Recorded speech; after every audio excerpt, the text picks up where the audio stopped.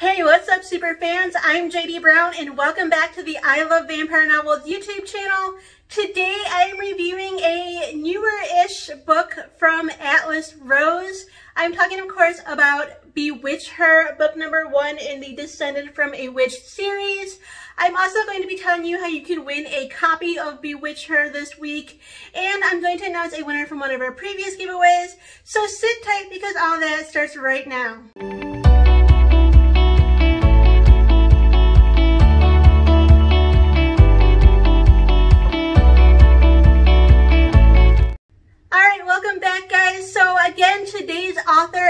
Rose is a paranormal romance author who is more commonly known for her Chosen by a Vampire series. However, she has recently released, I believe, three new books. They are the Descended from a Witch trilogy. And like I said, today I'm going to be telling you all about the first book in that series, which is this one right here, Bewitch Her. So our story takes place in a fantasy realm where witches and magic are real and they're very feared by the rest of the kingdom. The most evil of these witches is the Black Viper, but fortunately at the beginning of our story, the Black Viper has been captured and imprisoned.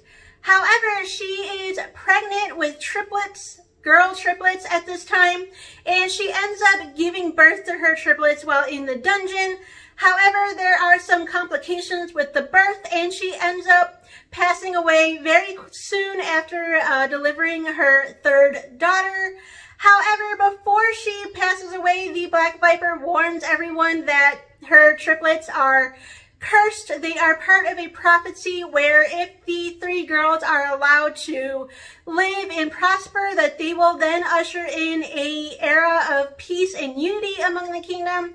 However, if anyone should harm any of her daughters, then the kingdom will instantly be cursed. Because of this prophecy, the three babies were separated and taken to three different castles in three completely different parts of the world and they were pretty much raised locked behind the castle walls, never allowed outside, and pretty much kept a secret from the rest of the world. Now our heroine is actually the witch's third daughter. Her name is Ever. She is an adult now. And like I said, she has pretty much grown up prisoner within this castle. She's never ever been allowed to go outside and leave the castle. And even when she roams around the castle, she's always accompanied by a chaperone. And the only time that she is allowed some solitude is when she's locked up in her room. And I do mean that literally there is a lock on her bedroom door. There's also a lock on her window. And so basically she just really, really wants to leave and she's very curious about the world. Ever's situation changes one night when a thunderstorm ushers in a premonition. Ever gets this magical vision of the king's men being abusive and harassing the villagers. And there is this magic stone in her vision now. This is a big, large stone. I kind of envision it to be kind of like a big bulger that looks kind of like Stonehenge.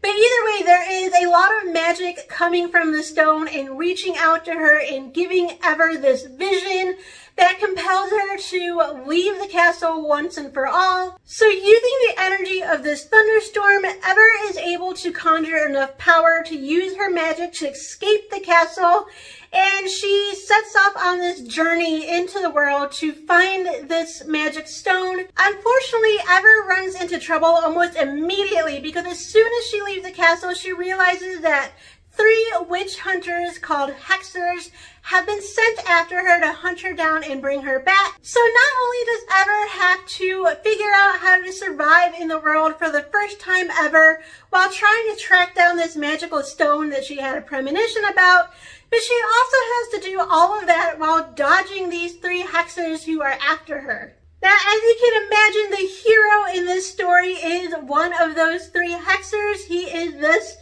delicious looking Witcher guy on the cover here. His name is Wilds. Wilds and his two brothers are witch hunters who have been enhanced with magic They are bigger, stronger, and faster than the average human male. The Hexers were actually created when Ever and her sisters were born. They were magically linked to the girls so that if one of them should ever escape or become uncontrollable, the Hexers could then hunt them down and take them out. However, one of the powers that allows the Hexers to track the girls is actually the one thing that allows Wilds and Evers to fall in love long before they even catch up to her. This power is the ability for Wilds to see and communicate with Ever whenever they're both asleep. So even while Ever is trying to escape the Hexers, she is actually getting to know Wilds in her dreams.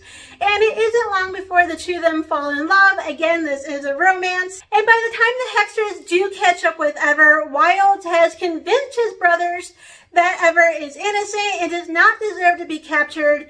And so the boys decide to actually switch sides and team up with Ever to help save the kingdom from a king who is actually very corrupt. And like I said, I am giving away this copy today. I will let you know in just a minute how you can enter for your chance to win. But first, I'm going to announce a winner from one of our previous giveaways. So congratulations to Mackenzie Bates. Mackenzie, you are the winner of Guardian of Magic by Jessica Wayne. I will be in touch with you after this to let you know how you can claim your prize. And to enter this week's giveaway for a chance to win this copy of Bewitch Her by Atlas Rose, all you have to do is leave a comment down below with the name of your favorite book by Atlas Rose, or if Atlas Rose is a new to you author, let us know that in the comments as well, and you will automatically be entered to win. And that's all the time I have for today. I hope you guys enjoyed this review. Please give it a thumbs up and share it with your friends.